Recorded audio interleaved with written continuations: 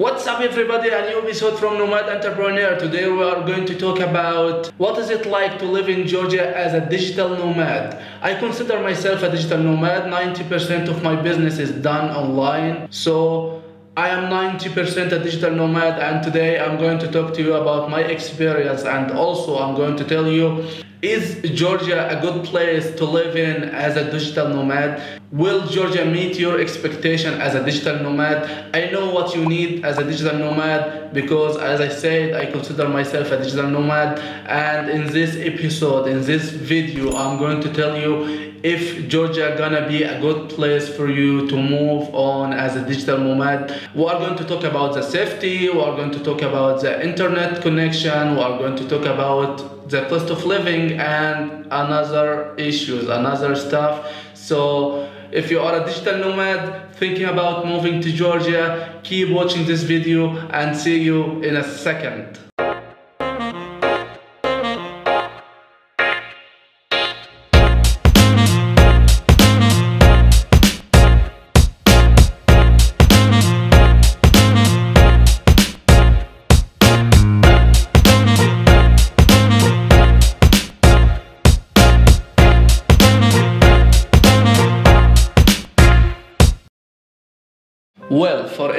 Decides to live abroad, the safety is in the top of the priority of everyone.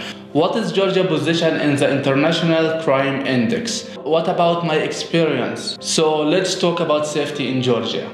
Well, Georgia is ranked among the most safest countries in the world. It's ranked number one in Europe, the safest country ever in Europe, and it's ranked number four among the safest countries in the world. Where did I get this information? Well, you can find the link in the description. So, this is the statistic. But if you know me well, you will know that I don't trust the statistic. I'm going to tell you my experience. My experience in Georgia for four years now that Georgia is safe. I live in Tbilisi. I lived for some time in Batumi and I was walking in the street at 4 a.m., 3 a.m. in a very empty areas, very dark areas and it was safe. I never had a problem. I never had someone stopping me, asking me for money or trying to threaten my life with a knife or with a weapon here it's totally safe. It doesn't happen here.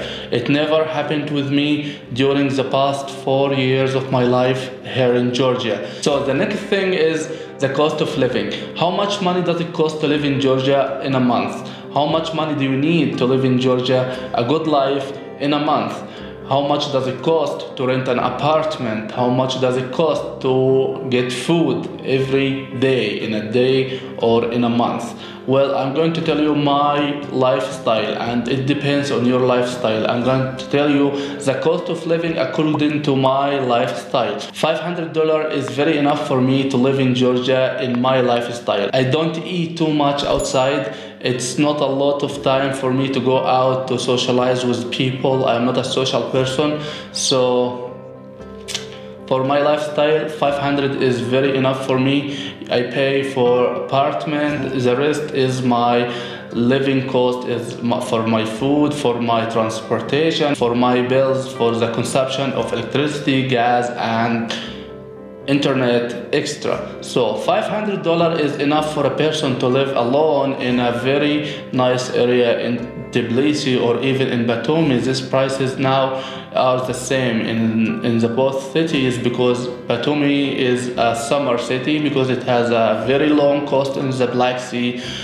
But since we are in a pandemic right now there are no tourists so the prices are the same in Tbilisi and Batumi if it's in a normal time in a regular time it's going to be increasing in Batumi it's going to be more in Batumi the cost of living in Batumi because a lot of tourists and everyone is renting its uh, their properties and this makes the prices go high for rent. But for now it's similar in Tbilisi and Batumi the prices are kind of the same. So 500 is enough for me. I think for you you might be even less than the 500 maybe you don't eat as much as i eat. Maybe you don't like the food i eat. So it depends on your lifestyle and it depends on your routine daily life. If you are a social person you uh, you will go a lot to bars or to a social event. You might need some more money more than the 500 i told you about myself. So it depends on you and if you want more information, if you want to know more about uh, prices, I have recorded a video approximately a year ago. The prices are not, uh, uh, the prices is not very much high now. It's kind of the same.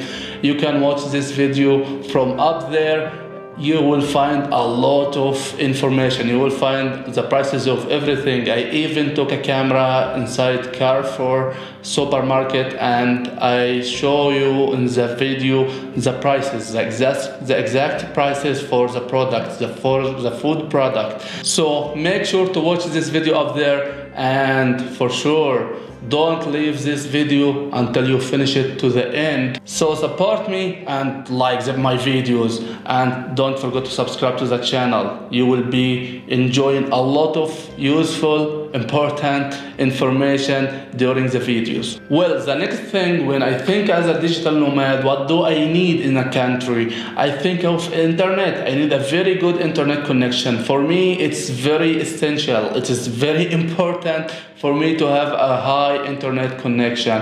And in Georgia, internet connection is very good. And the cost of the internet is very low. It's not expensive. For me, I have a subscription in Magti. Magti, in my opinion, is the best internet provider in Georgia, and Silknet for sure is kind of good. But for me, I prefer to use Magti as an internet provider. The speed is very high. It reaches 4.5G and in the near future the 5G is going to be applied in Georgia. It's going to happen in the next few years. Internet connection here is very very good for me. I am satisfied with it. I am very satisfied with it. When I tried the internet connection in Russia, it was not as good as much as here. It, when I tried it in Turkey, it was uh, kind of bad. When I tried it in Azerbaijan, it wasn't good. And for sure, in the country where I came from, the internet is very, very bad. I came from Egypt, so internet there is a disaster. I hate it. Even my experience with all of the internet provider in the country was so bad. So internet connection here is very high and very good. I'm satisfied with it. And in this point, I'm telling you, you will have no problem with internet connection, especially if you choose that company which I use, Magti. They didn't pay me to say any of this, so it's just my opinion. Comes second in the list is Silknet.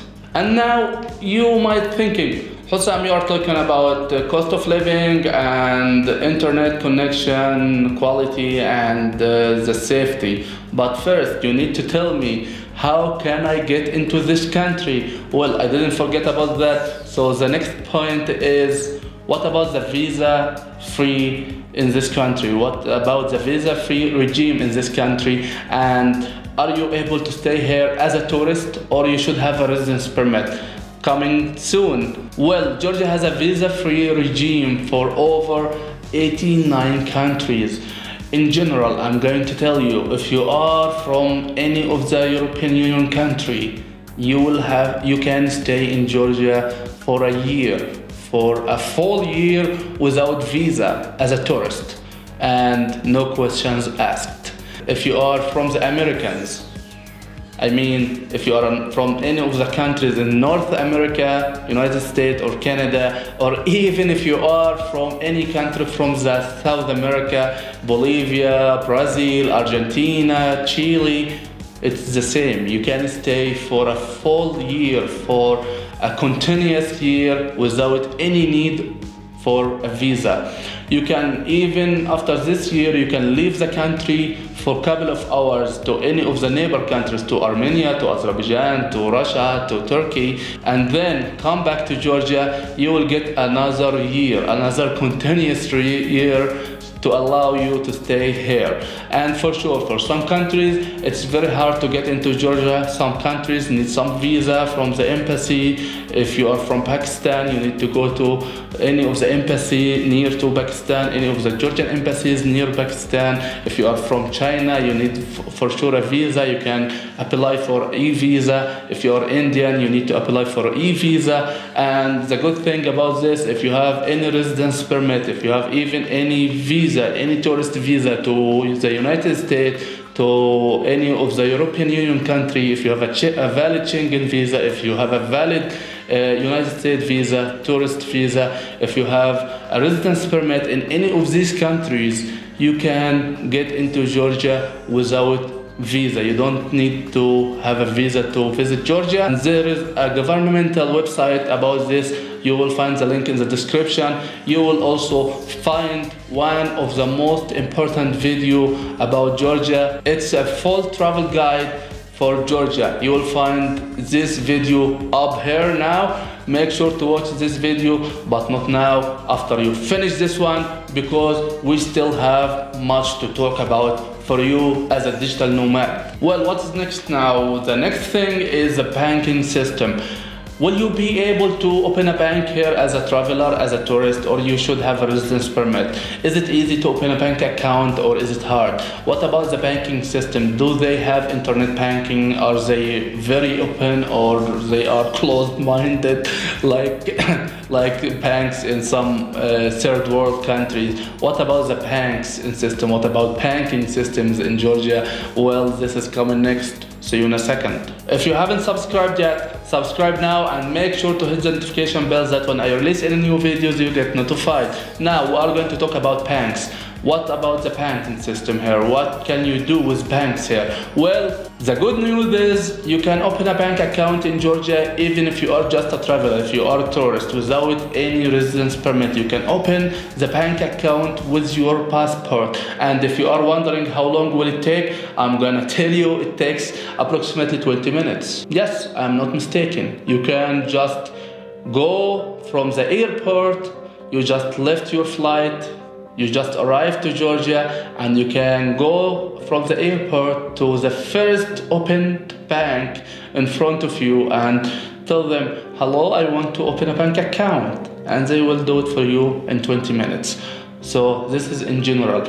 They are very open-minded in the banking system. They are not closed-minded. For for me, I don't know even if this expression is very good for banks, but I love to use this expressions. So, what banks can you open a bank account with? For me, according to my experience dealing with two banks, one governmental, Bank of Georgia, and the other is a private bank. I love to deal with the private bank, which is TBC.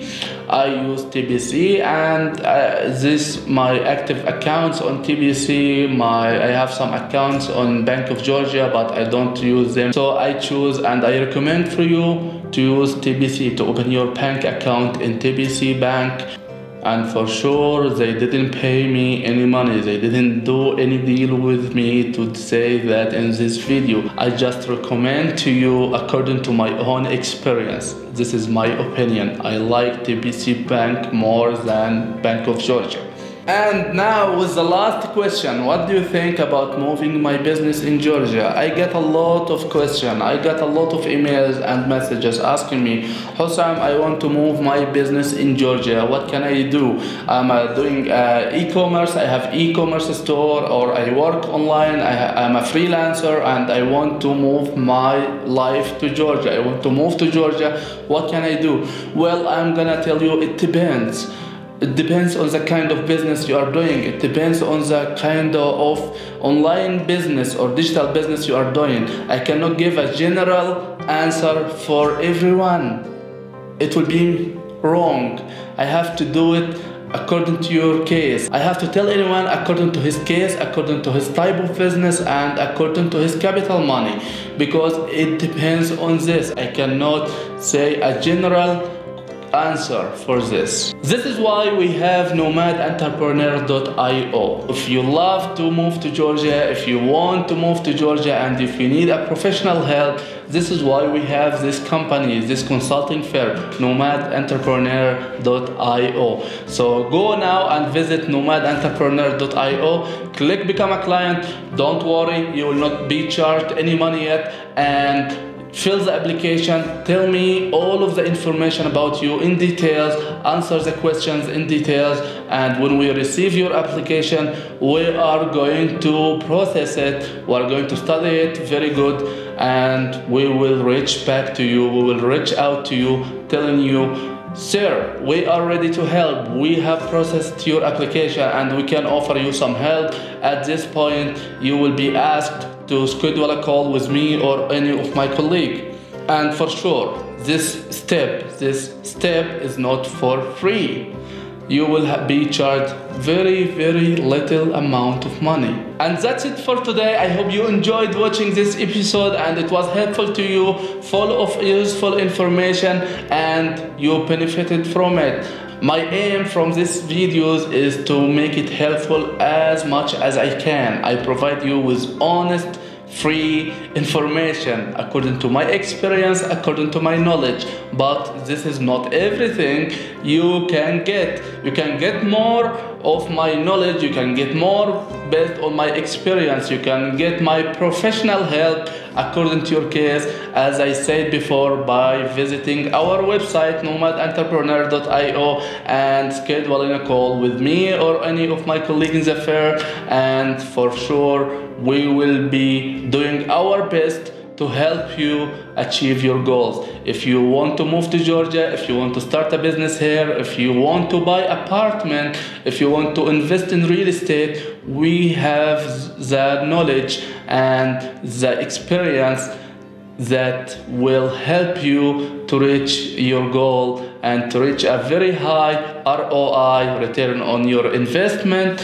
with us. If you have any question, let me know in the comments. Comment below, ask your question and try to watch the other videos in this channel before asking any question because I am sure you are going to find the answer in any of my old previous videos. I am sure of that make sure to watch all of these videos and then if you didn't find your answer you can either trying to communicate with us through nomadentrepreneur.io or you can just comment below. We will try to answer all of the comments and all of the questions.